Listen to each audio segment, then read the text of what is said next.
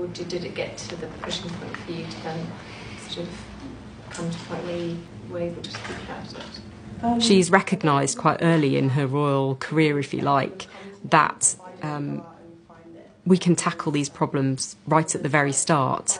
And she's made it her mission to make sure that every child has the best possible start in life. Too often, people feel afraid that they are struggling with their mental health. This fear of judgment stops people from getting the help that they need, which can destroy families and end lives. Initially, it started off that whole mental health campaign, a sort of heads together thing. Harry, William, and Kate, and then Meghan briefly. Um, but she's got much more involved than perhaps people realise.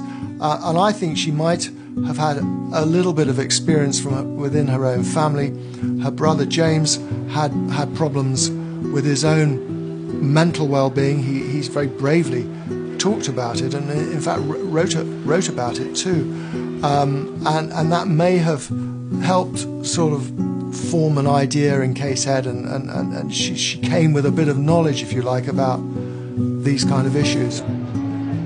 Kate is a patron of the Anna Freud Centre for uh, Children and Families, and that's where she has really learned a great deal about the importance of parents' mental health in very early childhood. And, you know, she's really learned that parents need to be supported as much as the children to provide this nurturing um, environment in which children can grow up um, and hopefully be resilient to what life might throw at them later on. We are all here today because we care so much about transforming the mental health of children, young people, and their families.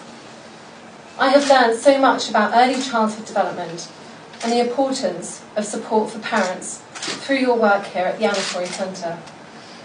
This is something I really do care about.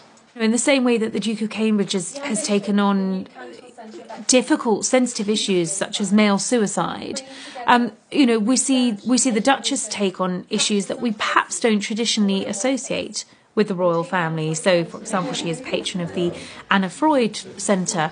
Um, she has made a real commitment to mental health, to um, addictions. So she's very